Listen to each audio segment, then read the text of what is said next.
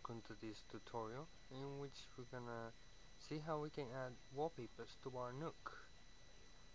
So uh, first thing we're gonna do is right here on the uh, desktop we're gonna create a folder where we're gonna add all the pictures. We're gonna call it Nook wallpaper if I can type correctly.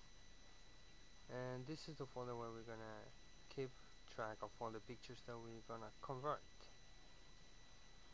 so then after that we're gonna just go to our favorite picture folder and we're gonna select the picture that just gonna use one of these pictures from one of my kids.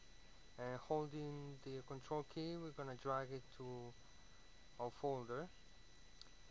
And from here we're gonna open this picture file with a program called paint.net which is free for everybody to use.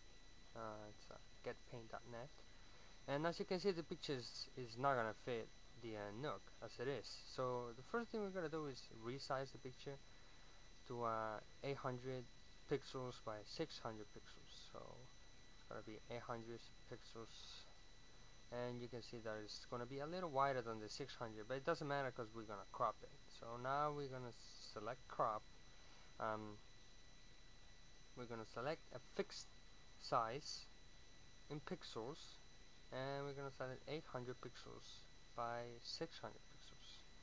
And now as we select it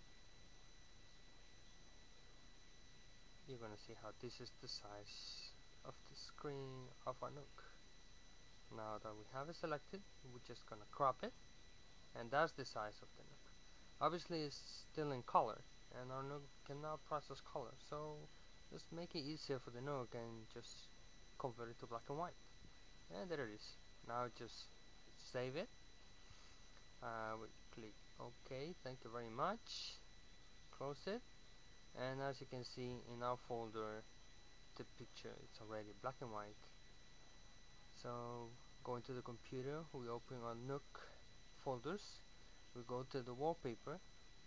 And now again holding the control key just click and drag while you hold it drop it and here it is. Our Nook has uh, the new wallpaper picture on it. So that's all there is to it. Now we close everything. We eject the um, Nook. We unplug it. And that's all. Thank you for watching